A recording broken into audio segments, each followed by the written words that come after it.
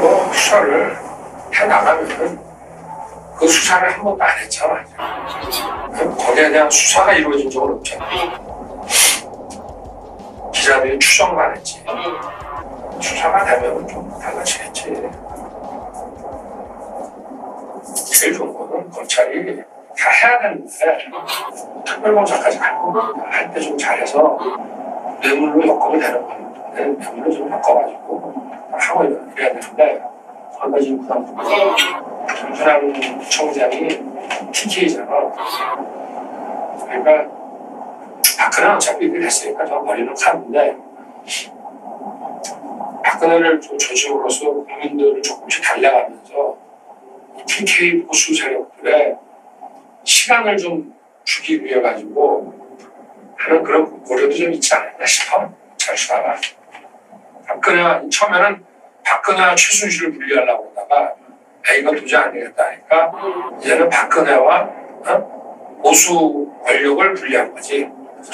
그래서 뇌물을 넣어놓으면은 박근혜가 나갈 수밖에 없어요. 부패 범죄로 이렇게 되고 조사도 뭐 안 받고 뭐 이렇게 뭐 재판을 기다리면서 대통령직을 할 수가 없거든. 아, 진술 다 받아가지고 어? 다, 다 엮어서 이렇게 해놓으면은 그러니까 저거를 뭐 뇌물로 엮지를 못한 게 아닐까.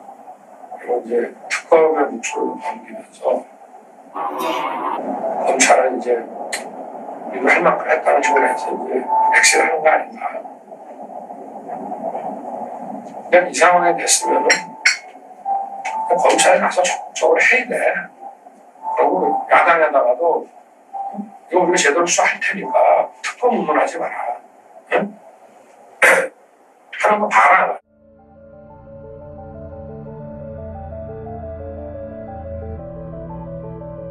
이거 여기서 이거 안 끝나겠는데. 나는 그 벌써 재단법인에 딱 보니까 네.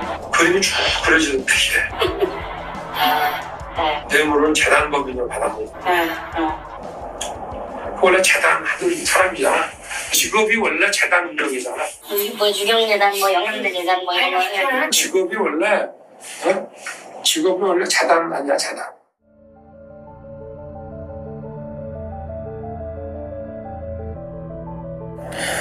그래서 야 송이 형이 가지고 이제 흔들어내는데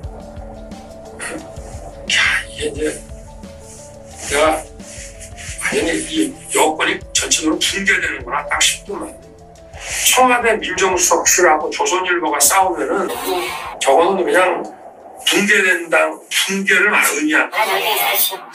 그냥 저기 대통령이 나서 딱 조정을 해야 되거든. 그참 사람들은 뭐 우병우가 뭐 천하의 아주 나쁜 놈이라고 하는데 글쎄 뭐 김기춘에 대해서 그런 평가 내리는 거는 내가 나도 그 사람 잘 모르고 뭐 유신 때 중앙정보 수사국장 사람이 고문도 많이 하고 했다니까 뭐 그런 사람이 어떻게 지금까지 이렇게 서바이브 할 수 있다는 그 자체가 나는 정말 대한민국 실망스러운 부분인데 야, 우병우는 어떻게 다 저팔에 끼어가지고 아까운 사람이야 진짜 그 처음에 서울에 그 내려오라고 그 전달했을 때 그때 내려왔으면 지금까지도 안 왔을 텐데. 그럼 박근혜는 멀쩡했지. 박근혜는 멀쩡했지. 참 그랬을 수 있다. 저게 고용 때 이성환이가 최초 제보자들 아니야. 네. 걔들이 조선일보랑 청와대랑 싸우는 거를 보고 조선에다가 준 거야. 저 싸움이 신속히 종결됐으면 못 줬어. 네.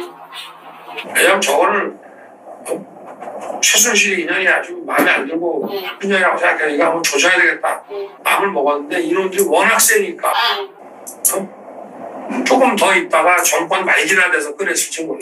근데 저 싸움, 저 싸움이 장기화되면서 조선이 궁지에 딱 몰리는 것 같으니까 추가 보도가 쫙쫙 안 나오잖아.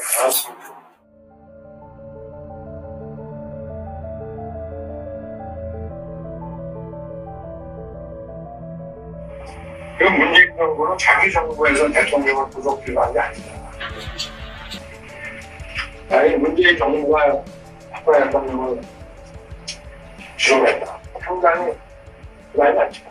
저도 행정안이 잘못한 게 특검 수사기관을 연장 걸어주고 검사 파견을 늘려주면서 박근혜 대통령에 대한 처리를 특별검사관에 놔뒀어야 돼. 아, 오늘 검찰로 끌고 가는 것 자체가 그 양반이 공안 이런 것만 해봐가지고 이런 범죄 사건이 법정에 가서 어떻게 진행이 되는지 이런 거에 대한 컨셉이 없는 음.